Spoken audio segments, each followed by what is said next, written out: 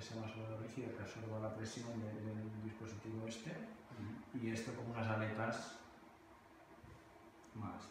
Esto, por ejemplo, aquí creo que tiene 4 de espesor, más los nervios, y aquí tiene 2 de espesor.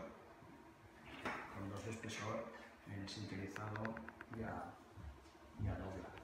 Es un programa de, de, de tipo de ergonomía para ver interacciones y demás para el sector de automoción.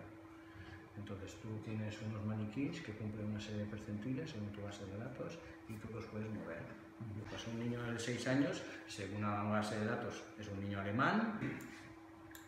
Le puse esto encima y más o menos a nivel de tamaño es un niño medio, no es toda gama de niños que tenemos en nuestra base de datos, pero más o menos le cuadraba bien, por tamaño de, las barras y demás iba bien, y luego esa girada, para ver un poco también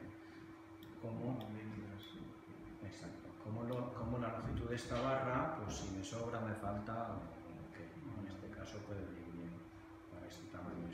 Se, podría recortar más la barra si quisiéramos,